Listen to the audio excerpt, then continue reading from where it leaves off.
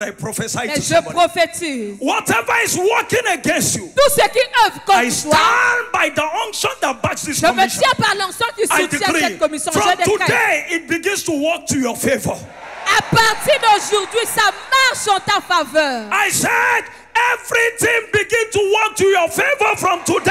Je dis à partir d'aujourd'hui, tout marche en ta faveur. In the name of Jesus. Au nom de Jésus.